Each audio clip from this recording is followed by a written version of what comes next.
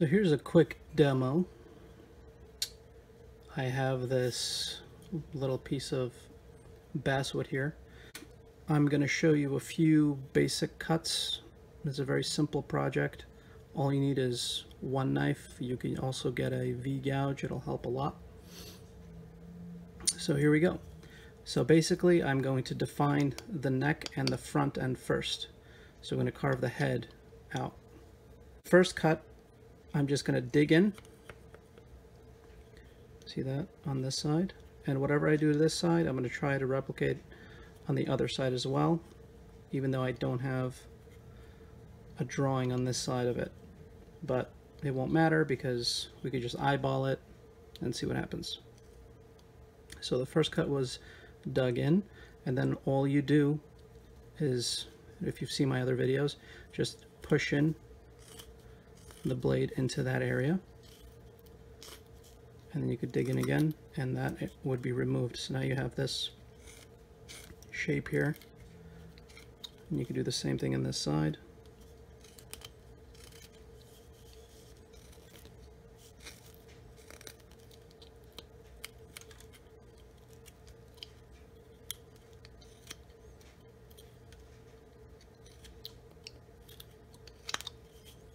You gotta make sure your knife is sharp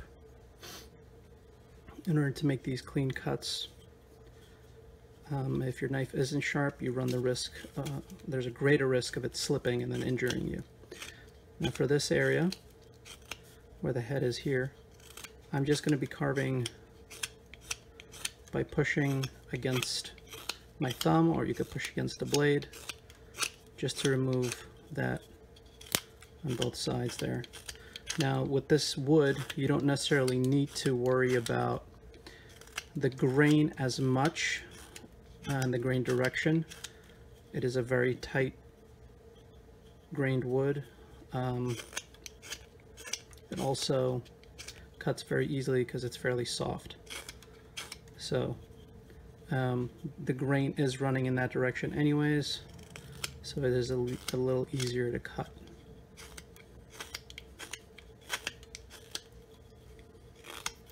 You could turn your hand in this position and you just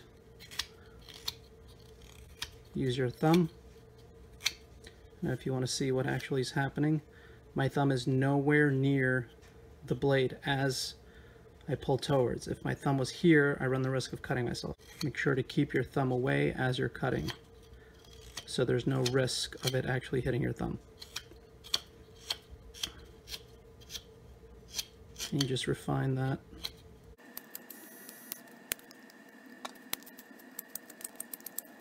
And just creating that shape on both sides, if you can see what that looks like there.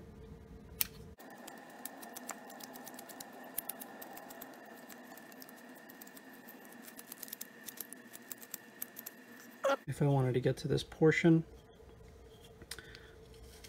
I do the same thing there.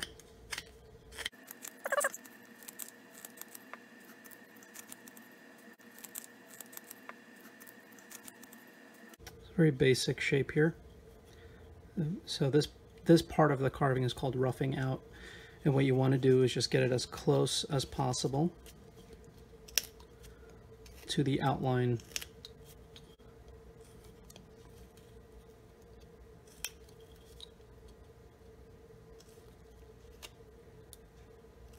Now from here, what I'm doing is I'm pressing down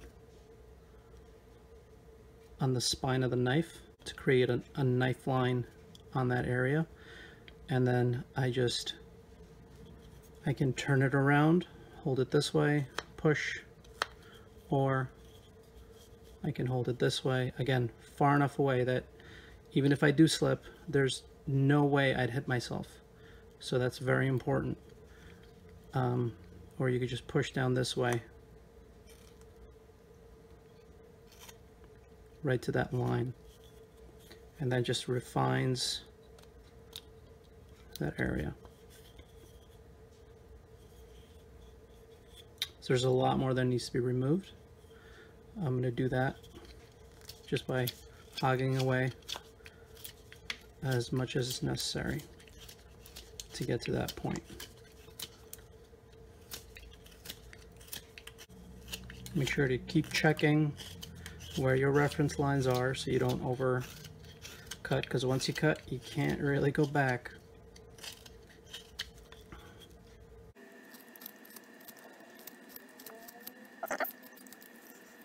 That's fairly close.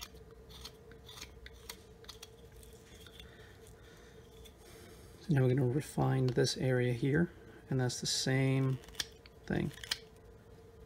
Just pushing against, again, make sure that as you push, the knife is not in line with your fingers. This is a very sharp knife. You could cut yourself. So be sure that the knife is nowhere near any fingers. So I'm working fairly quickly because I'm used to using it. As you can see here, there's no way my knife would hit my thumb as I'm doing it.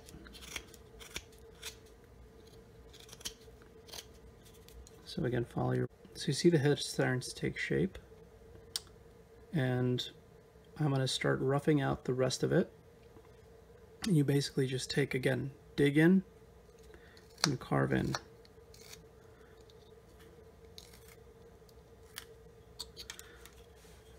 So you can see that. Again, dig in and carve in. Here I'm using my thumb to push into that area here. Um, that's just another way of doing it. You could also turn it and then carve in this way. Same two principles as before. Now for this area here, there's two ways of doing it again. You could push in and then carve, or I'm working standing on a table. And what you could do is you could just run your knife, making a line this way you don't risk cutting yourself because you have the table. Let's say you go far, you hit the table. It's not a big deal. Or you could push in. That won't give you as deep of a cut, but you'll get there eventually. And then you just do the same thing. So the line you created acts as a stop. So you don't go past it as you push. So you don't push too hard. It's a very soft wood and the line basically stops your cut for you and then you can just refine it by pushing down and removing the pieces and you just continue to round it out taking that shape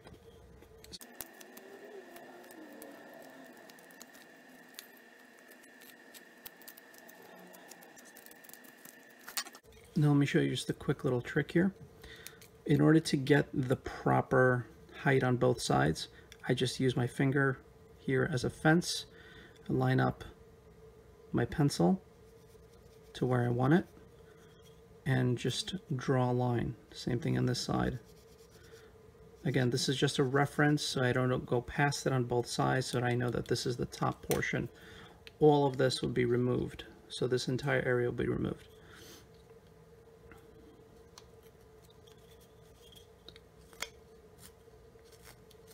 The same can be done for this side. This is the area, this is how far down I want to go. So I take my pencil